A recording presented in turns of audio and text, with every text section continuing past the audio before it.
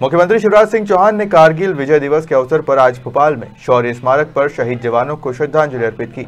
CM ने कहा, इस लड़ाई में सेना ने जिस वीरता का परिचय दिया, वो दुनिया के इतिहास में अद्भुत है। मुख्यमंत्री शिवराज सिंह चौहान कारगिल विजय दिवस के अवसर पर आज शौर्य स्मारक पहुँचे और भारतीय सेना के कारगिल युद्ध में शहीद हुए वीर जवानों को श्रद्धा सुमन अर्पित किए। इस दौरान उन्होंने मीडिया कर्मियों से चर्चा करते हुए कहा कि आज कारगिल विजय दिवस है, जिसको लेकर पूरे देश का माथा गर्व से ऊँचा उठा हुआ है।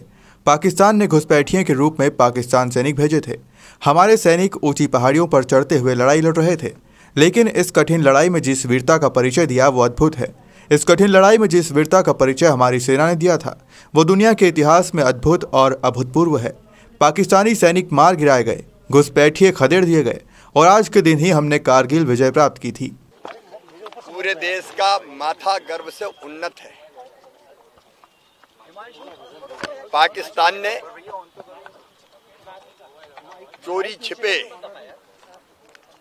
घुसपैठी और अलग बेस में पाकिस्तानी सैनिक भेजे थे,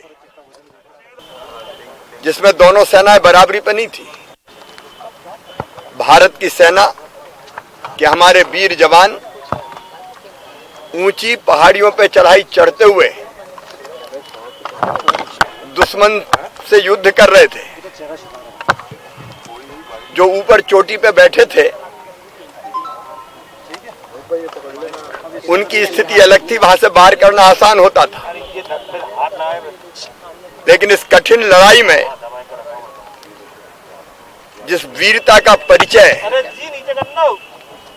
भारतीय सेना ने दिया, हमारी आर्मी, हमारी एयरफोर्स वो दुनिया के इतिहास में अद्भुत है। अभूतपूर्व है। पाकिस्तानी सैनिक मार गिराए गए। घुसपैठिए खदेड़ दिए गए। और आज के दिन ही कारगिल विजय हमने पूरी तरह से प्राप्त की थी।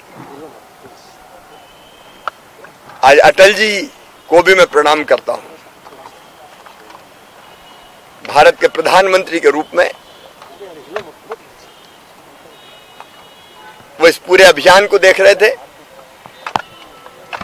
और हमारे वीर जवान, हमारे अधिकारी, हमारे सैनिक, वायुसेना के हों, आर्मी के हों, उन्होंने जिस अदम्य साहस और वीरता का परिचय दिया उसके लिए मैं उनके चरणों में प्रणाम करता हूँ।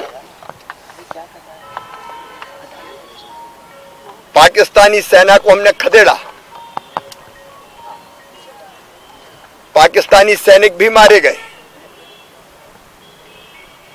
लेकिन हमारे भी 527 जवान शहीद हुए थे।